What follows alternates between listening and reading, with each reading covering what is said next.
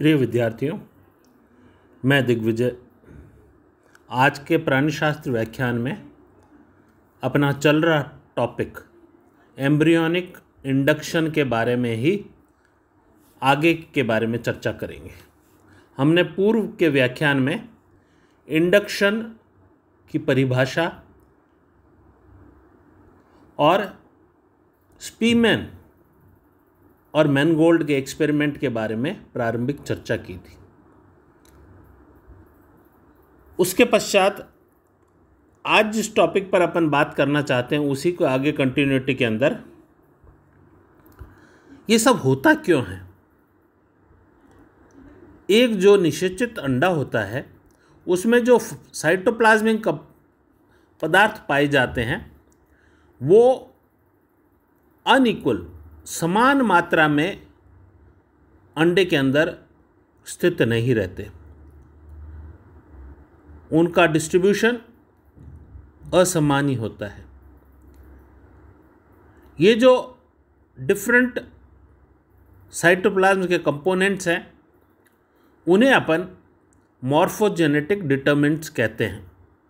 और ये morphogenetic determinants ही control करते हैं, आगे के सारे जितने भी स्पेसिफिक सेल टाइप्स हैं, उनके कार्य को। इस चीज़ को अगर वैज्ञानिक शब्द देना हो तो इसे डिफ्रेंशिएशन कहते हैं, विभेदन कहते हैं। तो एक जो जाइगोट होता है, उसके अंदर कंप्लीट इन्फॉर्मेशन होती है कि वो किस प्रकार से एक व्यस्क के अंदर परिवर्धन करेगा। ये बहुत जटिल प्रक्रिया होती है। इसको समझना इतना आसान नहीं होता। इसको समझने के लिए स्पीमैन ने ये जो प्रयोग किए, वो इस डिफ्रेंशिएशन प्रक्रिया को ही समझने की ओर कदम थे।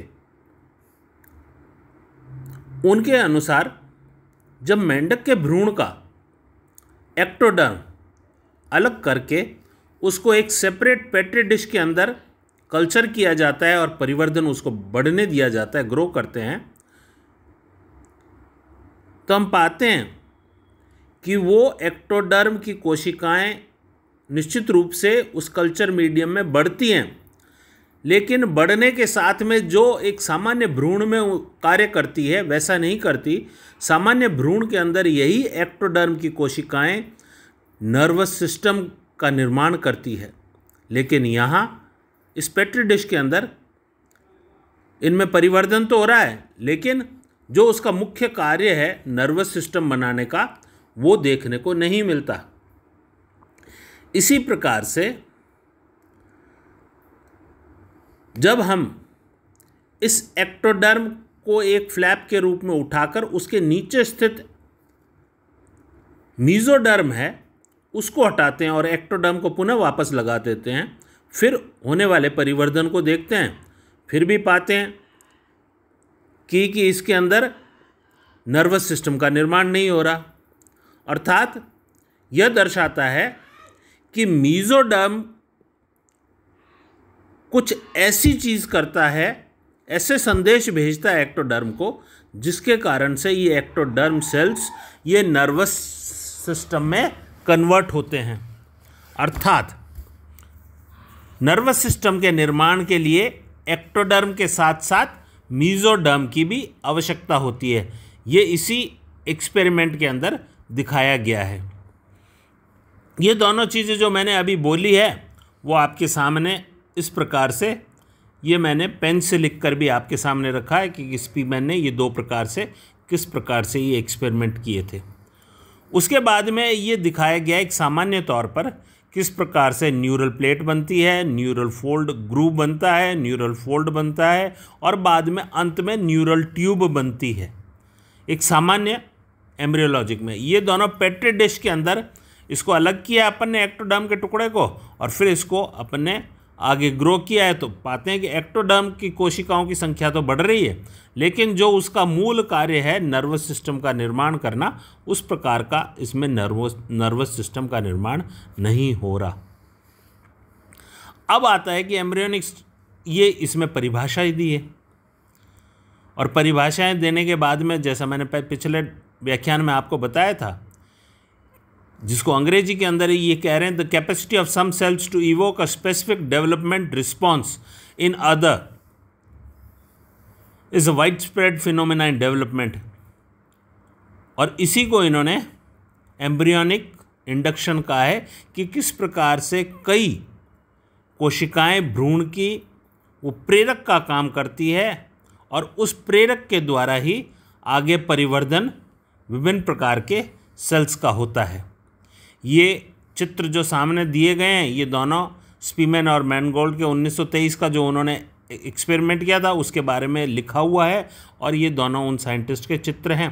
मैंने इनके पिछले व्याख्यान में इनको अर्जित नोबल पुरस्कार के बारे में भी ज़िक्र किया था।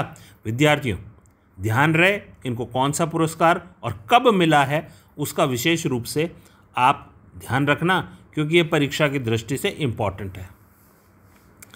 अब ये इसके अंदर किस प्रकार से अलग अलग तरह से ये परिवर्तन होता है, उसके बारे में कह रहे हैं कि it invaginates and development to notochord and somites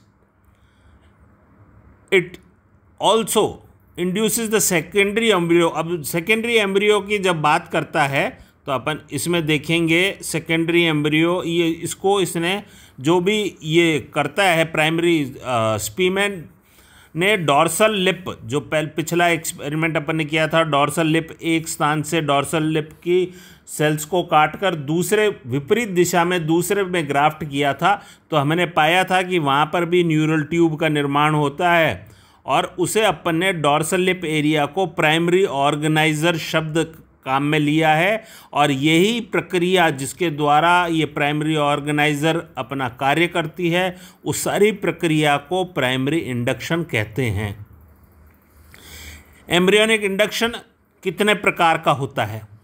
embryonic induction के प्रकार पढ़ने से पहले जो चीज़ आपके सामने नहीं आई है, वो मैं थोड़ा सा आपको बोल कर ही बताऊँगा कि कि प्राइमरी एम्ब्रियोनिक इंडक्शन को जानने से पहले जो भ्रूणीय परिवर्धन में इंड्यूसर्स होते हैं ना, उनकी समझ, उनकी भूमिका को समझने के लिए स्पीमे ने ये ट्रांसप्लांटेशन किया। एक भ्रूणीय अंश को किस भ्रूण पर रोपित करते हैं, इस आधार पर ट्रांसप्लांटेशन कई प्रकार के होते हैं। पहला है ऑटोप्लास्टिक स्वरोपित प्रत्यारोपण। किसी भ्रूणीय अंश को उसी भ्रूण में प्रत्यारोपित करना स्वरोपित प्रत्यारोपण कहलाता है। दूसरा है होमोप्लास्टिक, समरोपित प्रत्यापन। जब एक भ्रूणीय अंश को उसी जाति के अन्य भ्रूण में प्रत्यारोपित किया जाता है तो उसे समरोपित प्रत्यारोपण कहते हैं। तीसरा है विषमरोपित हिट्रोप्लास्टिक। जब भ्रूणीय अंश का प्रत्यारोपण एक वंश की दो जातियों के मध्य किया जाता है, उसको अपन हीट्रोप्लास्टिक कहते हैं, और चौथा प्रकार का होता है जीनोप्लास्टिक। जीनोप्लास्टिक का मतलब होता है परारोपित प्रत्यारोपण। जब प्रत्यारोपण दूर के संबंध वाले प्राणियों के मध्य किया जाता है तो इसे जीनोप्लास्टिक कहते हैं, जैसे मेंढक और भेड़। इनके मध्य में अगर आप करो तो ये कहलाएगा जीनोप्लास्टिक। अब जीनोप्लास्टिक करने के बाद में, इतना जानने के बाद में, अब अपन आते हैं प्रकार एम्ब्रियोनिक इंडक्शन के प्रकार। एम्ब्रियोनिक इंडक्शन दो प्रकार का होता है। पहला है एंडोजिनस और दूसरा है एक्सोजिनस इस डायग्राम के माध्यम से भी समझाने की कोशिश की है एंडोजिनस क्या होता है। लेकिन एंडोजिनस को समझाने के लिए, समझने के लिए जब कोशिकाएँ स्वयं द्वारा उत्पन्न प्रेरकों के प्रभाव से विभेदन करने लगती है तो इसे अंतर जातीय प्रेरण कहते हैं एंडोजिनस इंडक्शन कहते हैं। इस प्रकार के प्रेरण में रासायनिक प्रेरकों का विकास कोशिकाओं के भीतर ही होता है। यहाँ पर ये अपने, ये कॉडा मीजोडर्मल सेल्स का दिया। अब दूसरा है एक्सोजीनस बाह्य जात। एक कोशिका स्वयं प्रेरित न होकर अन्य उत्तकों या कोशिकाओं के विभेदन प्रेरित करते हैं, उसे बाह्य बाह्य जात प्रेरण कहते हैं। जैसा कि पूर्व में वर्णित है प्राइमरी इंड्यूसर्स के प्रभाव से अंतर्वलन की प्रेरणा होती है, जिसके कारण भ्रूण में आर्केंट्रॉन का विकास होता है। आर्केंट्रॉन के विभिन्न अंग विकास के दौरान विभिन्न संरचनाओं का विकास को प्रेरित करती है। अतः आर्केंट्रॉन के विभिन्न भाग विभिन्न प्रकार, विभिन्न विभिन्न प्रेरकों का कार्य करते हैं। यही एक्सोजिनस का आपको उदाहरण दिया गया है कॉडम मीजोडर्मल सेल्स के द्वारा न्यूरल प्लेट का किस प्रकार से फॉर्मेशन होता है।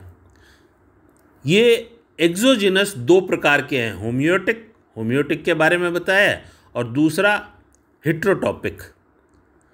जब ये प्रेरक डिफरेंट टाइप्स ऑफ़ ऑर्गन्स व डिफरेंट ग्रुप ऑफ़ सेल्स या टिश्यूज के द्वारा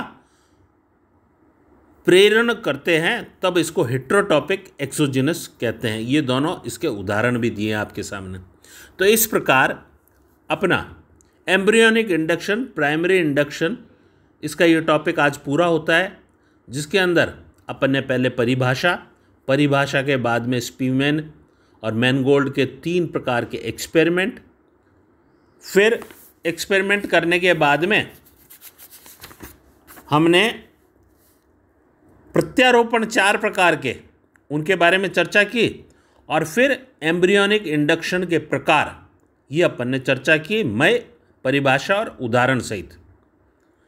विद्यार्थियों, इसका भी होम असाइनमेंट मैं आज आपको दूँगा। कृपया कर कर असाइनमेंट मुझे पुनः वापस कंप्लीट कर कर भेजा करें व्हाट्सएप पर, ताकि मैं जान सकूँ जो मैंने कुछ पढ़ाया है, वो आपने ध्यान से सुना है और समझा है। अगर फिर भी आपके किसी भी प्रकार की कोई समस्या हो तो व्हाट्सएप के माध्यम से या मेरे पर्सनल फो मोबाइल फ़ोन पर आप मेरे से जिज्ञासा पूछ सकते हैं। जब मन करे, तब आप मेरे को फ़ोन कर सकते हैं। 24 घंटे मैं आपके लिए उपलब्ध हूँ। आप जब चाहें, तब फ़ोन कर कर इनका उत्तर मेरे से ले सकते हैं।